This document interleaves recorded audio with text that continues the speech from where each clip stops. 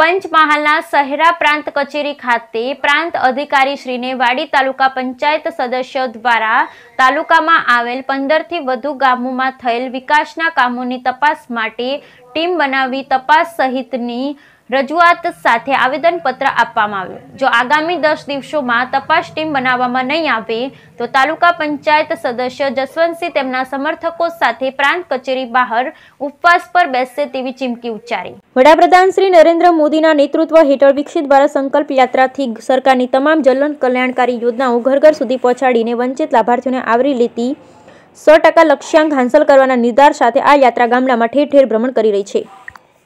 ત્યારે ખેડા જિલ્લાના મહુધા તાલુકાના મોટી ખડોલ ગામ ખાતે અધિક વિકાસ કમિશનર શ્રી ગૌરવ દહિયાની અધ્યક્ષતામાં વિકસિત ભારત સંકલ્પ યાત્રાનો કાર્યક્રમ યોજાયો હતો. મોટી ખડોલ ગામ ખાતે અધિક વિકાસ કમિશનર શ્રી અને વિકસિત ભારત રથનો ગ્રામવાસીઓનું ઉષ્માભેર સ્વાગત કર્યું. કાર્યક્રમમાં ધરતી કરે પુકાર અને નુક્કડ નાટક દ્વારા ગ્રામવાસીઓને પ્રાકૃતિક ખેતીનું મહત્વ દર્શાવતું નાટક રજૂ કરવામાં આવ્યું. મેરી કહાની મેરી જુબાનીના લાભાર્થીઓ પોતાની સરકારી યોજનાઓના લાભોના અનુભવો જણાવ્યા અને લોકોને સરકારી યોજનાઓનો લાભ લેવા વિનંતી કરી હતી.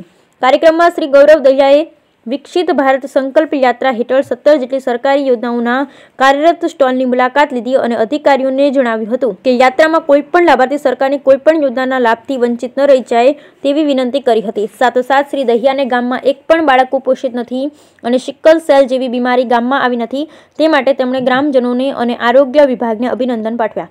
આ કાર્યક્રમમાં જિલ્લાના અગ્રણીઓ, સરપંચશ્રી, ઉપસરપંચશ્રી, પ્રાંત અધિકારી શ્રી કે એસ સુવેરા તેમજ બાળકો અને મોટી સંખ્યામાં ગ્રામજનો ઉપસ્થિત રહ્યા હતા.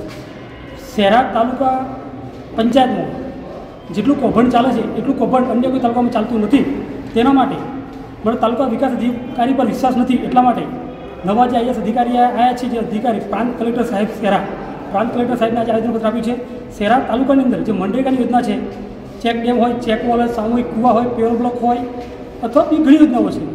એમએલએ ગ્રાન્ટ હોય, સંસદીય ગ્રાન્ટ હોય, એનો દુરુપયોગ કરવામાં આવે છે. એક જ જગ્યાએ કામગીરી કરવામાં આવતી હોય અને એક જ ચેક વોલ અથવા એક જ વિકાસનું કામ હોય, તો ત્રણ ત્રણ વખત એના પૈસા ઉપડવામાં આવતા હોય, એની તપાસ કરવામાં આવે, એના માટે આવેદનપત્ર આપ્યું છે, અને સાહેબને કહેવામાં આવ્યું પ્રાંત કલેક્ટર સાહેબને કે દસ દિવસની અંદર એક તપાસ ટીમ બનાવો, અને શહેરા તાલુકાના દરેક ગામમાં તપાસ કરો, અને સાથે મને પણ લઈ જાઓ, અને દસ દિવસની અંદર જે યોગ્ય તપાસ કરવામાં નહીં આવે, તપાસ ટીમ નિમવામાં નહીં આવે, તો હું આ જગ્યા પર મારા કાર્યકરો સાથે ઉપવાસ પર બેસવાનો છું.